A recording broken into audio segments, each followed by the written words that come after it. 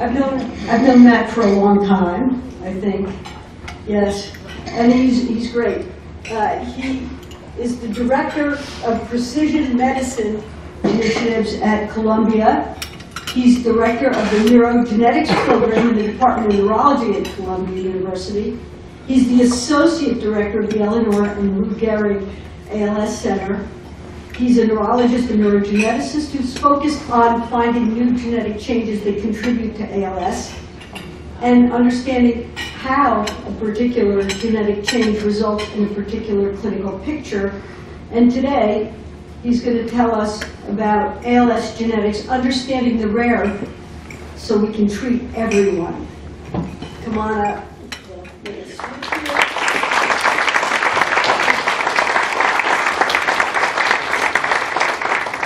Right, so um, it's a real uh, privilege to be back in the Philadelphia area uh, to be talking today about ALS genetics. And um, as Terry and Lyle and I went back and forth about what to call this talk, uh, we really wanted to focus and emphasize just a couple of weeks after tofersen was approved for a very specific, small, rare subset of ALS patients, how the types of genetics and genomic studies that we're undertaking in the rare forms of the disease are in fact poised and bringing about um, changes in how we're thinking about treatment for all of ALS, even if there isn't a genetic mutation. So my comments today will be focused on um, making sure that uh, we're tackling all of ALS, even as we're learning from these rare forms.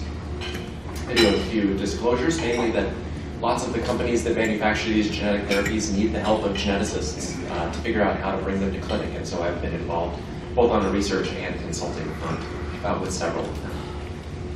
So I'd like to begin today by outlining the course of human genetic understanding as it's, as it's been over time, and how that relates to the ALS historical timeline. So right here across the top of this uh, red arrow are the major discoveries that have brought us to a place where we can understand genetics. So going all the way back to 1865, when the concept of uh, pea crosses could bring about um, phenotypes in those peas. But it wasn't until 1902 that we understood that probably the underlying uh, um, component of heredity was chromosomes. It took another 50 years for us to have a sense for what the DNA that made up those chromosomes looked like and how it behaved. And then it wasn't again, until 1983 that the very first human disease gene was located and mapped. Not identified, but mapped. By 2001, just 20 years later, we mapped the entire human genome, which was a tremendous amount of progress for just 20 years. And 10 years later, it was possible for around $1,000 to sequence the human genome. So in the last uh, 20 or 30 years, tremendous and uh, accelerating progress. How does that line up with the discoveries of ALS, the disease that we're all here and focused on? So 1869, around the same time as Mendel's principles of hereditary were being developed, um, Charcot uh, described ALS, and even going back to those original descriptions, recognized that there were some familial forms, um, uh, predicting the fact that we would under, uh, eventually understand why that was the case. Of course, in 1941, Lou Gehrig uh, passed away from the disease. In 1993, the first ALS gene was discovered, and just a few years later, the ALS Hope Foundation itself was established. And then finally now, um, in 2023, 30 years after the discovery of SOD1, an FDA-approved medication for that specific subtype of ALS. So lots of progress over the last 150 years, but obviously so much more to go. So um, I hope you'll take some um, comfort from the fact that if I now array the ALS research publication growth across this timeline, we're on a logarithmic growth curve. Um, this year, we will pass 40,000 ALS research papers that have been published. And with each one of these, we're getting closer and closer to understanding some of those fundamental biological pathways uh, that lead to disease. But really the turning point, and I can't illustrate it here enough, that really the growth of ALS publications was relatively small until 1993, when uh, the SOD1 gene was discovered. So all the way back in 1993, when I was graduating from, uh, from high school, uh, the first gene was discovered. And it was published in two separate papers, one in Nature and one in Science. Now there's so many genes uh, uh, discovered for ALS that you can't possibly land it in one of these prestigious journals because it's kind of old news as we discover ALS genes. And if you depict over time how those gene discoveries have unfolded, uh, this is what the curve looks like. So just like the logarithmic phase of the ALS publications in general, ALS gene discoveries have also been uh, at an enormous increase in pace. And I think if you kind of squint, you can appreciate that there are kind of three eras of, of gene discovery in ALS. This first era required extremely large families where ALS had been passed from generation to generation and DNA had been collected on all of them. This allowed a technique called linkage analysis to zero in on the part of the genome that was responsible. And then it would often take five, ten years of somebody sequencing that entire region of the genome to try to figure out what the mutation was that was causing it in that family. Not surprisingly, as a result of that, we were discovering less than one gene per year um, at that pace. The second era allowed us to sequence very quickly, so the very earliest forms of whole genome sequencing. That allowed us to focus on smaller families, but to kind of combine them, so families that seemed similar, we could make comparisons across the genomes between those families. And that allowed us to discover genes at a rate of three per year. Now, in era three, which is the era that we're currently in, we're focusing on sporadic ALS. We're using comprehensive whole genome sequencing and combining that with statistics, as well as something called multi-omics, where you sequence the RNA and the transcriptome, as it's called, of cells to kind of understand the genome. Um, and we're still discovering ALS genes at a rate of two per year. So with the genes that we have discovered, how often do we find them in ALS patients? So we've now looked um, for definitive uh, gene contributions in more than 5,600 uh, people with ALS. These are predominantly of European descent, and shown here in the pie chart uh, is what we identified. Close to 500 individuals with C9orf72, 73 with an SOD1 mutation, and then the numbers get smaller from there. But all told, we explain now about 12% of individuals with ALS. You'll appreciate that quite a number of genes uh, do show up. Shown in the very left-hand corner are all of the ones that are extraordinarily rare. I'll point out that because of, uh, most of the studies have taken place in Europe and the United States, these cohorts are heavily biased towards people of European descent. Thankfully, uh, over the last decade, people have invested in collecting DNA from underrepresented minorities and groups around the world to try to get a handle on this, and we now know that there's a lower rate of C9orf72 and a higher rate of TARDBP, and FUS mutations in people of non-European descent. Therapy development has been moving also in these areas. Um, as I mentioned at the beginning, tofersen has been approved uh, for SOD1 now for almost three, four weeks. There are clinical trials for three other of the more common gene mutations, C9orf72 with a therapeutic project from Wave Therapeutics, the FUS gene with the fusion study by Ionis, and then uh, AL-SPIRE or ALS-SPIRE for against ataxin-2 um, being run by Biogen. I think even more excitingly is the fact that um, a project called Silence ALS has been birthed, which allows us to develop drugs for individual mutations, not just individual genes. So you can figure out which specific mutation is present and tackle that. And we have therapies in development for TARDBP. And because you can develop it for specific gene mutations, you can now focus on even rarer forms, um, mutations in genes that might be present in only one individual family, which I've circled here, some of the rarer genes uh, that we're tackling with this type of approach. So um, at this point, we can identify gene mutations in 12% of people with ALS.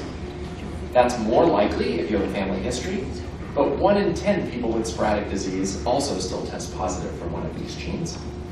But the bright side uh, is that we have therapies that are already FDA approved and are um, in development in clinical trials as well as on the drawing board for many of these genetic mutations.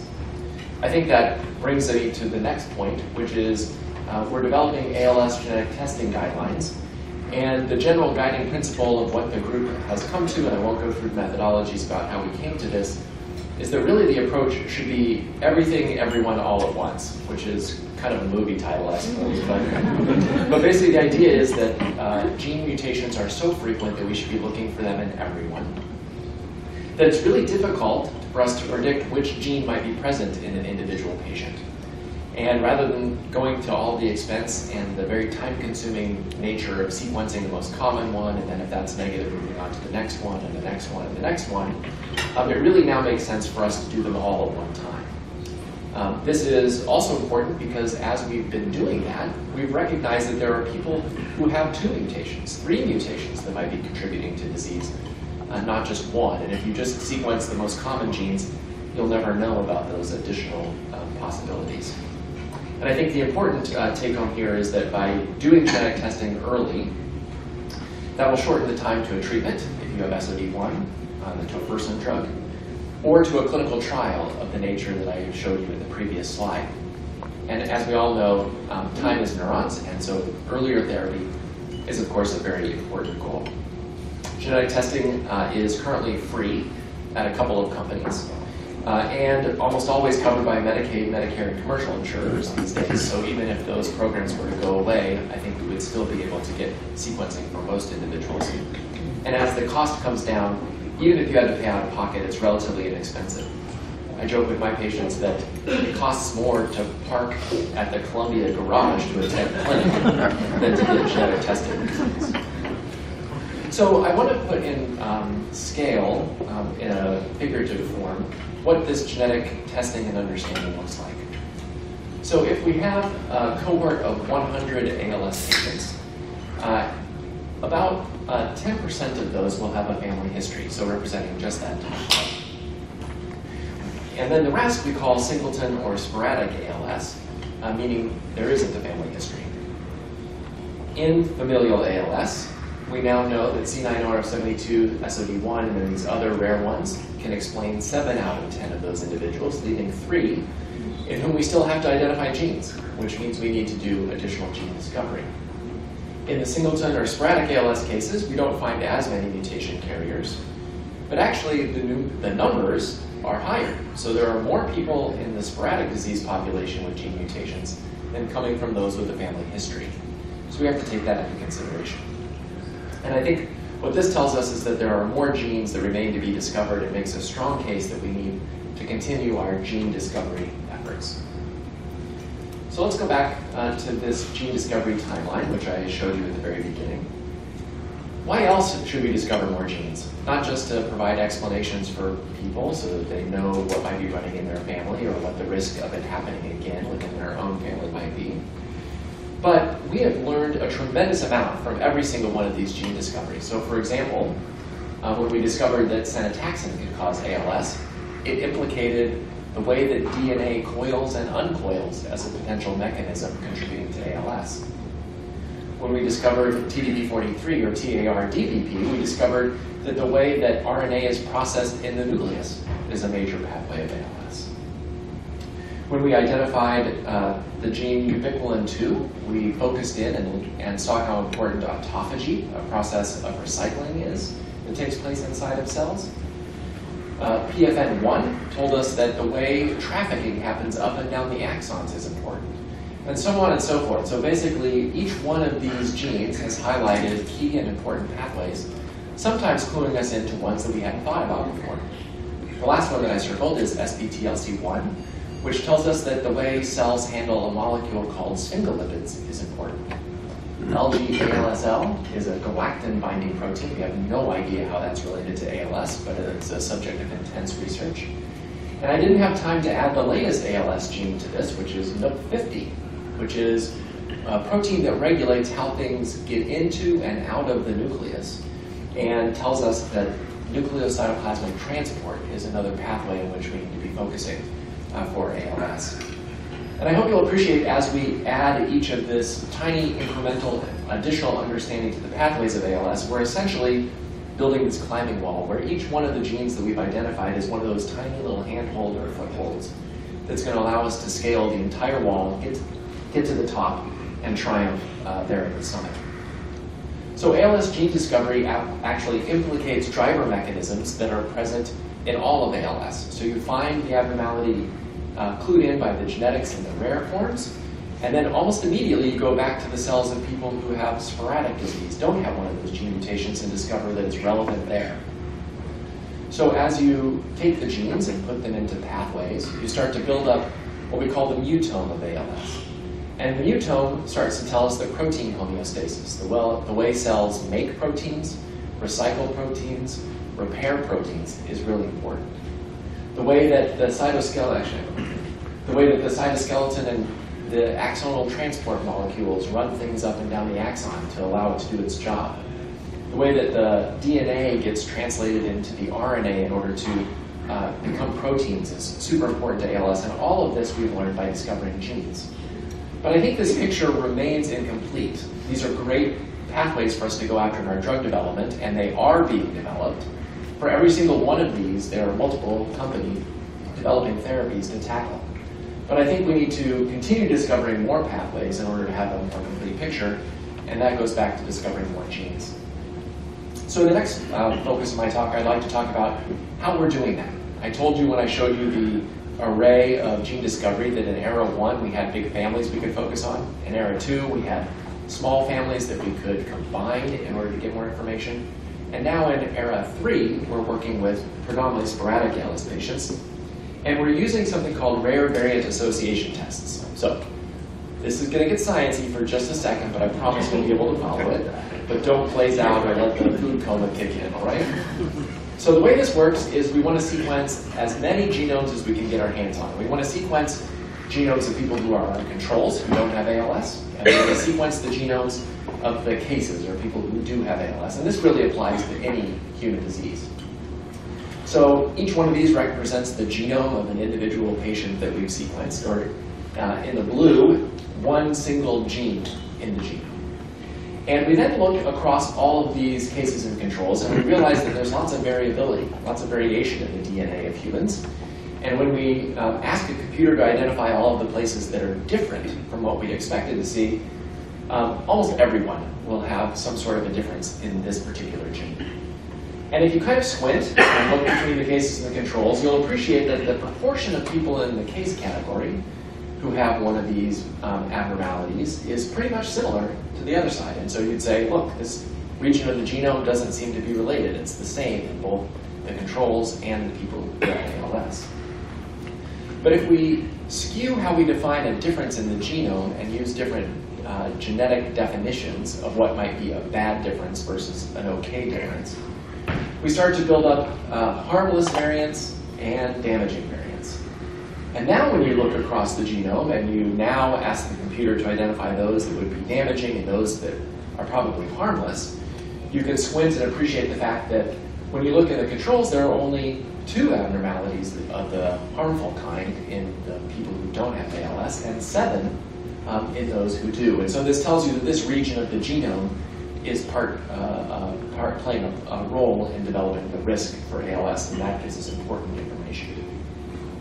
So we've been using this uh, to identify the next generation of ALS genes.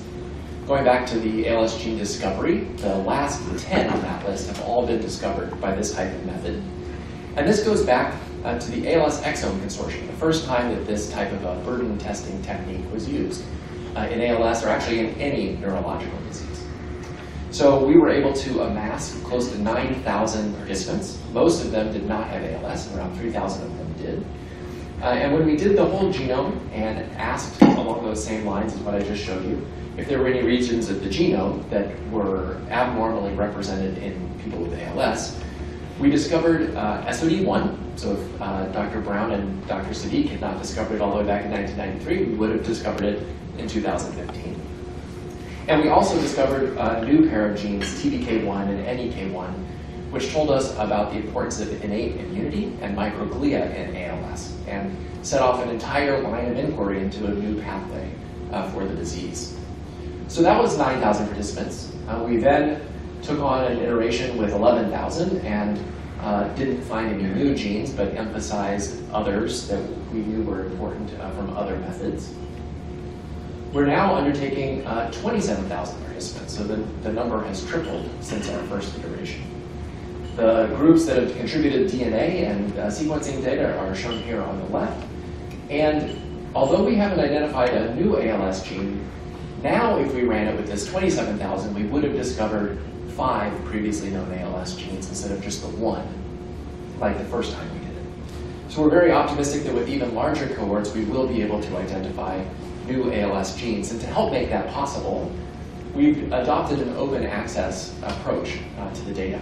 It used to be that when geneticists sequenced genomes, they kept it all to themselves, hoping to get more publications and to get more grant funding. But we believe that that slows down the field, right? And so we want it to be open and available to anyone who wants it. And so here at our website, atabdd.org, um, any ALS researcher, actually anybody, uh, can go and look up individual genes and uh, the gene mutations that are there. We're not alone in adopting that practice. Uh, and in fact, ALS Genetics is one of the most collaborative and cohesive groups uh, out there. So we have on the books a plan for 100,000 participants. So five times what we've already uh, been done and are working on. The groups uh, shown off to the left here have all agreed uh, to contribute data to ALS Compute, which will take place on this massive computing infrastructure called AnVIL. And then there's the plan to overlap this with a European study called Project MinE uh, in order to get to that 100,000 participants. And I really am very optimistic that with this approach, we're likely to discover five or six uh, new ALS genes um, in the next, in the upcoming year. So um, we've also been focusing on common ALS variation, and I think this is where the talk really pivots and starts to focus on treatments for everyone that are being empowered by studying these rare cases. So when you do these types of whole genome sequencing, you find all of the rare abnormalities, and that's what we've been focusing on here. But we also find common differences between humans. We don't even call them abnormalities, they're just uh, variations that make me me and you you. So when you see these common variants and you look across now hundreds of thousands of people, uh, you start to identify regions of the genome that are overrepresented um, in people with disease versus people without. This very complicated diagram is called a Manhattan plot. And each of the buildings, those uh, upright um, uh, dots, uh, tell you how significantly associated a given region of the genome is with ALS. The very, very tallest building, you might call it one of the micro skinny buildings in New York that, you know, is uh, 1,100 square feet or uh, 11, uh, 1,100 feet tall. Um, that's the C9orf72 gene. So it still is playing a major role even in, in these common disease association studies. But I want to direct your attention over here to UNC13A, which is present in 35% of people with ALS. Now this uh, gene difference in and of itself is not enough to cause ALS. So I don't want anyone going to Dr. Heiman-Patterson's clinic or going to Dr. Ostro and asking to be sequenced for the UNC13A gene. It's a risk factor, a very minor risk factor. What we know about this minor risk factor is that it does increase the risk for developing ALS a teeny tiny little bit. But if you have two copies of this particular abnormality, there's shortened survival. You're more likely to have uh, bulbar onset. There's a slightly increased risk of having cognitive impairment with your ALS um, and of showing atrophy on uh, MRI. Why is that happening? Well, we didn't really understand until really quite recently that basically if you carry one of these uh, abnormalities, you don't have as much UNC13A protein. And if you carry two copies of the abnormality, you have even less. And UNC13A is important for maintaining the axon to the muscle and communicating at the what we call synapses. And so potentially if you don't have enough UNC13A, uh, those parts of your neuronal system are unhealthy and more susceptible uh, to developing ALS. So why is that uh, important? Well, this all gets back to something that I hadn't covered yet, and that's the fact that everyone with ALS that isn't caused by an SOD1 mutation has the same underlying problem when you look under the microscope. And that underlying problem is that TDP43, the protein there that's brown um, and clumped up, is supposed to be in the neuron, uh, in the neuron's, um, neuron's nucleus, um, as opposed to being clumped up out in the cytoplasm. And if it's not in the nucleus to do its job, and it's mucking things up in the cytoplasm, that's one of the key drivers of ALS, we think. So what do those two things have to do with each other? UNC13A and this abnormal protein that's not in the right location? Well, it's really, uh, yeah, sorry, my animation's not working right where. Um, so basically, this is a schematic version. Healthy neuron, TDP43 in the nucleus, and very little out in the cytoplasm. Unhealthy neuron, all the TDP43 has left the nucleus and is now out in the cytoplasm. So what does that do? Well, if the TDP43 is in the nucleus, the UNC13A gene gets turned on appropriately. Something called splicing gets spliced appropriately, which leads to the normal protein and the normal amount of the protein. Whereas if you're missing TDP43 and you have those individual uh, variations that I was telling you increase the risk for ALS, then you don't make enough of the RNA. The RNA is unstable, it gets degraded, and then you don't have enough UNC13A protein. So that's a lot of biology, but I'll sum up in one, one thing, and that is that we have molecules now that can go into the cells and block the abnormal splicing, which we think will increase the amount of UNC13A and undo the effects of that particular genetic mutation. So it turns out that UNC13A isn't the only place where not having enough TDP43 wreaks havoc on the way the gene gets turned on, spliced, and manufactured. I won't go into the details, but this happens for another gene called STATHMIN2 and probably 50 others. And the great thing about all of this is that we now have these antisense oligonucleotides that can block this from happening. And are now starting clinical trials to see if we stop the TDP43 dysfunction from impacting these particular genes, we can drive up the level of the proteins that are necessary and slow down ALS or potentially even stop it. So very exciting times. So um, that's focused on what to do and kind of to replace the function of TDP43, but what if we could actually push the TDP43 back into the nucleus so that it was doing its job and not clumping up out in the cell? So in a screen uh, done by a colleague of ours named Aaron Gitler, they identified that ataxin-2 actually facilitates it going in the wrong direction. So the more ataxin-2 you have, the more likely it is that your TDP43 is going to end up in the wrong location and doing the wrong things. That's important because ataxin-2 is also different from person to person to person.